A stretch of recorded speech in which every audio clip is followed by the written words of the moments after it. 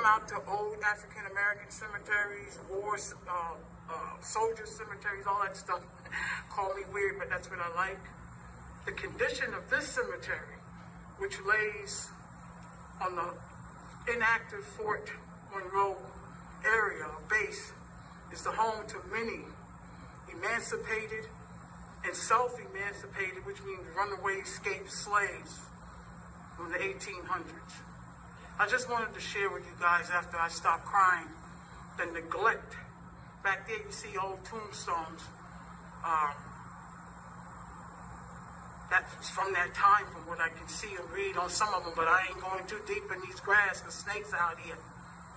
But I just wanted to share with you guys the neglect. The neglect It breaks my heart.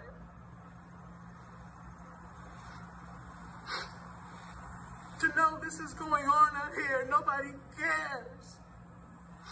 Nobody cares.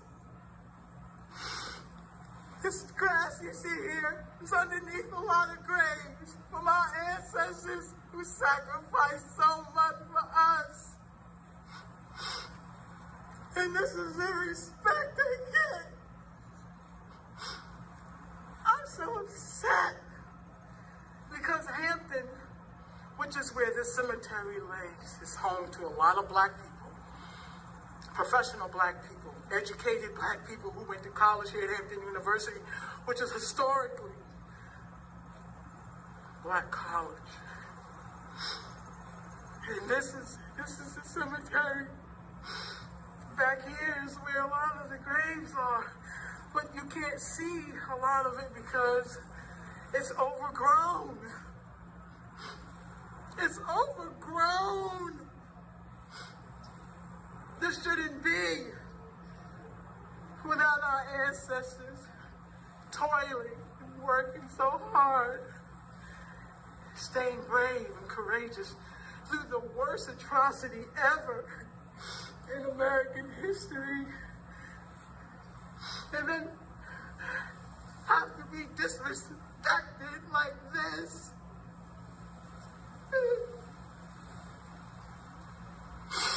I'm just really upset.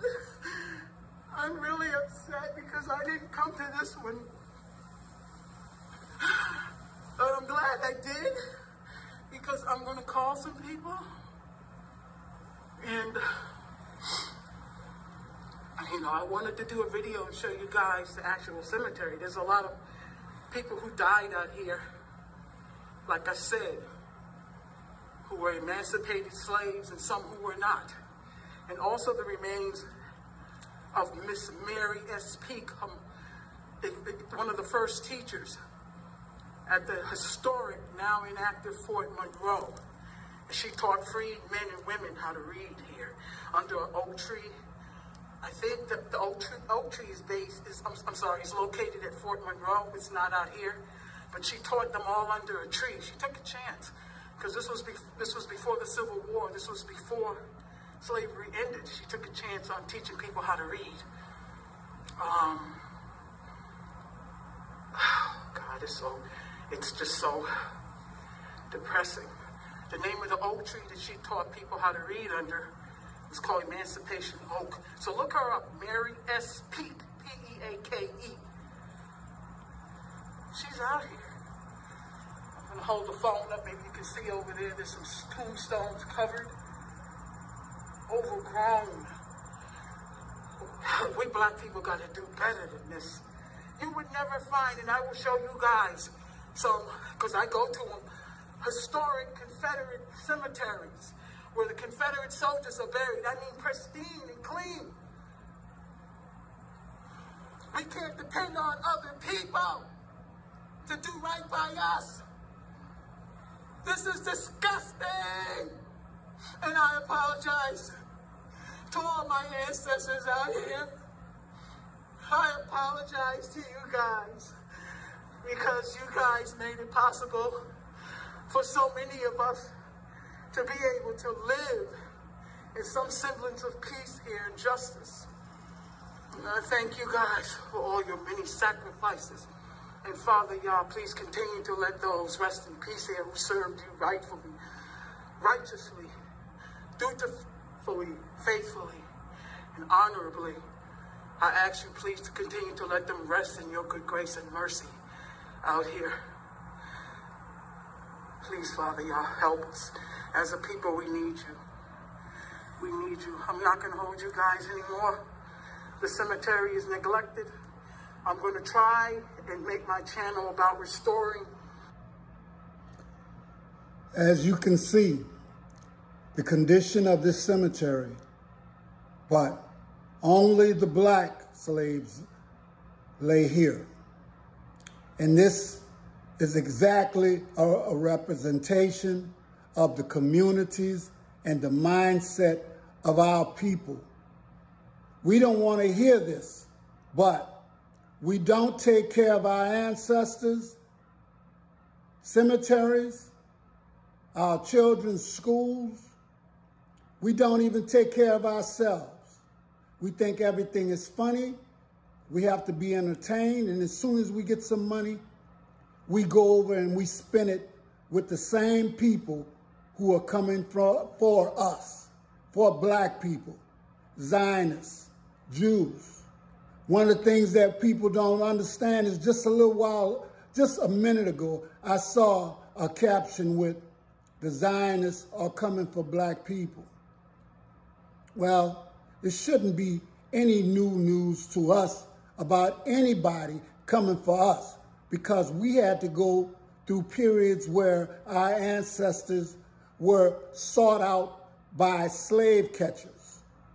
But it still hasn't sunk in that these people do not care about us. We have to care about ourselves. But we haven't been doing a very good job of that. We can't even come together to elect someone to, to actually work on our behalf. Everything is not a joke. And right now, black people's situation in America and Africa and all over the world is a very serious thing. But you don't want to really hear the truth. I, I understand that.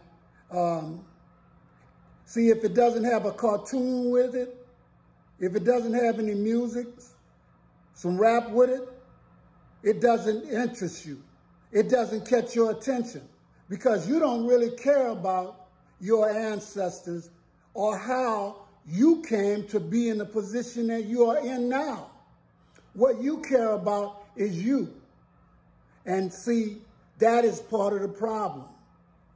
People want you to be so focused on the things that don't matter while they take advantage of you and all of the United States citizens by taking from Social Security by not uh, actually funding DEI programs, programs that black people a lot of times don't get the best of the program. We get such a small portion. There's something similar to what happened with the Civil Rights Act. Do you know it was supposed to be about black people, but more white people and uh, other uh, nationalities got more of the program than black people. And it's that way all the time. But you can't see that if you don't look for it.